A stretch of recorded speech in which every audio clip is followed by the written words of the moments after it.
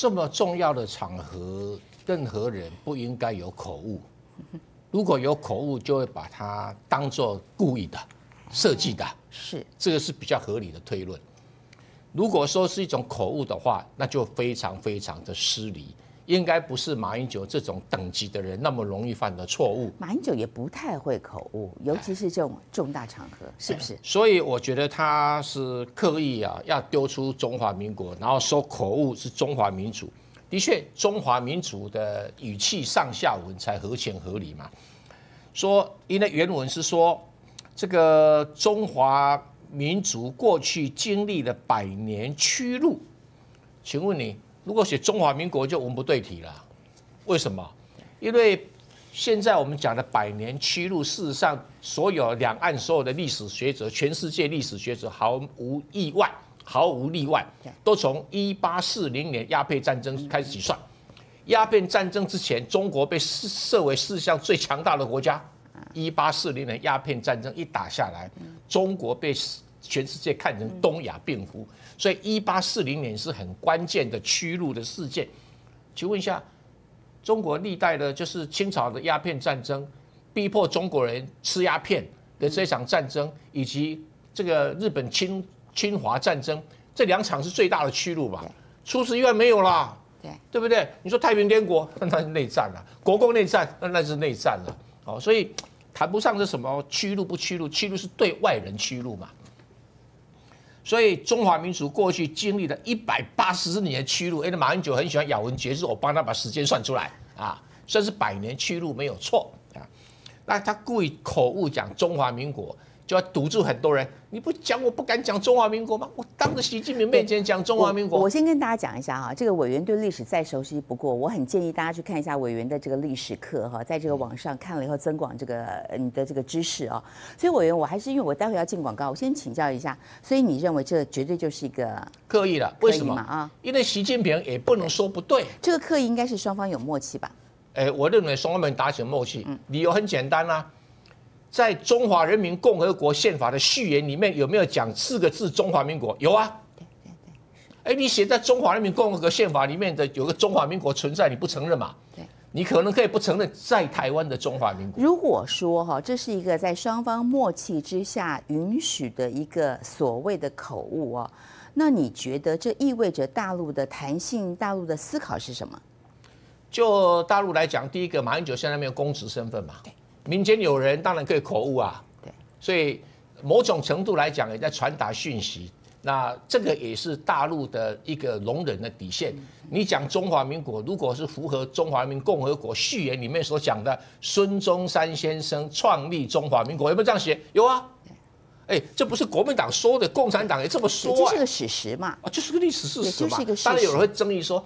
创立中华民国不止孙中山先生一个，那我同意了哈。不过因为他名气比较大嘛，所以用他为主嘛哈。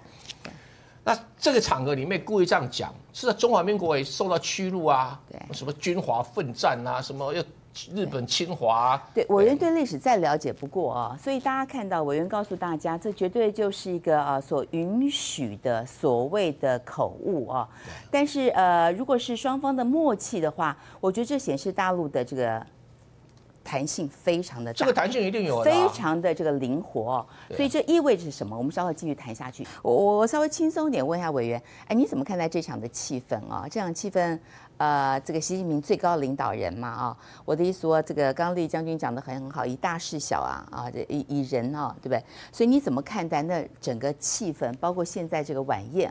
我先跟大家说，还有一些陆续的消息传出来啊，包括我们台湾的四月三号花莲花莲的这个地震啊，那习近平也在这个现场当中哈表示哀悼等等之类的，所以就他也注意到了很多的细节，你觉得呢？和陆方要营造一个什么样的气氛？基本上，习近平是在效法中国古代一些圣君的做法，就是康熙皇帝啊、唐太宗啊、那汉武帝这一代人的做法，就是对于对内温言软语。对，你看看那个康熙皇帝当时为了准歌汉国，哎，他是他的名义上的女婿，哎，准歌汉国多低声下气呀。到了这个准哥汗国要用武力相向以后，他才，哎，才不得已亲自亲征哎，所以他已经是说尽最大的能力，那最大的诚意、最大的忍耐啊，这个最大的让步，已经到了这个地步，不得已才去派兵去打这个准噶汗国啊。这个就是中国古代被称为圣君的一种作风啊，跟对外不太一样啊。那习近平，我想他应该知道这些历史阶段发生些什么事。啊，他不可能去当光绪皇帝的，他学习的对象一定是康熙皇帝嘛。再说，他对于台湾发生的大大小小事情，他就要以一个作为全中国哈这个现代中华民族的最高领导人，要对他的子民同胞表达慰问吧。啊，这个总不能把他当外国人嘛。哦，这是这是一个习近平，他作为一个就这种重要的领导角色，该去扮演、该去表达的嘛。嗯。啊，细节他就不用去管哦。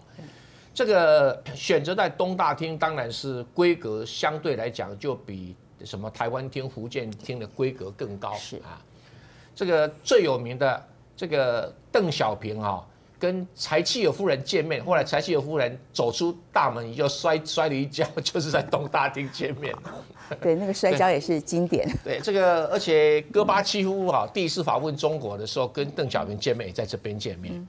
然后大陆参加 WTO 哈所开的重大的会发布会也是在这个东大厅，还有举办北京奥运，对全世界宣布的也是在东大厅。对啊，所以你知道这个东大厅这是位阶是很高的，所以它软的地方更软啊。但是这个也很难讲了哈，为什么？因为我们现在台湾哈就是。呃，有有些人就是不愿意去面对，这是一个客观的事实哈。嗯，像这个习近平讲话，从头到尾都讲民主，啊，中华民主。不过，这个习近平当然有点客气了，他说中华民族五千多年的漫长历史，哎，会被大陆现在的人类学家跟 DNA 学家打枪。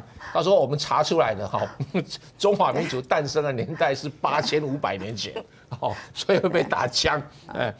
不过不管如何，五千多年前是有国家组织出现的时候，大概是五千年没有错了哦。啊，但是这个就是一个民主啊，啊，这个现在中华民族这个概念底下，DNA 证实的是占大陆人口多少？占大陆人口百分之九十七，这么高的一个比例，当然有少数民族嘛，啊，因为台湾有多少？百分之九十八，嗯，更高，这个更高。哎，我原来我让你预测一下，现在时间是六点三十八分嘛，啊，这个呃，这个晚宴的部分哈，目前还没有最新的消息传出，但是此刻应该正在晚宴或是正在一个晚宴的进行或准备的过程当中哦。你觉得呢？晚宴通常一个半小时跑不掉吧？你觉得双方会谈些什么？这时间蛮长的哦。晚宴就不能够谈太过于。诶，严肃或者太过硬邦邦的话。上次有谈那个酒，马英九不是带酒去吗？啊，对啊，对啊。你觉得这次会谈什么？他应该也是这个习近平哈，诶，这个大陆领导人继胡锦涛之后啊，唯一宴请的台湾政治人物。嗯，我可以很肯定的这么讲。因为以前都是会面而已嘛。其他以前朱立伦去大陆访问，访问过啊，用国民党主席身份啊。对。然后这个。